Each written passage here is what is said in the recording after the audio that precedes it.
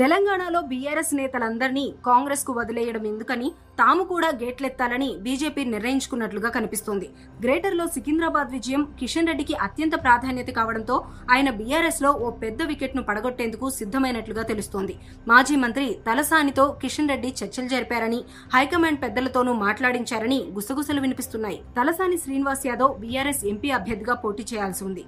సికింద్రాబాద్ పరిధిలోని అసెంబ్లీ స్థానాల్లో బీఆర్ఎస్కు లక్ష ఓట్లకు పైగా మెజార్టీ రావడంతో తన కుమారుణ్ణి నిలబెట్టి ఎంపీగా గెలిపించాలి అనుకుంటున్నారు. దానికి తగ్గట్లుగానే ఏర్పాట్లు చేసుకున్నారు.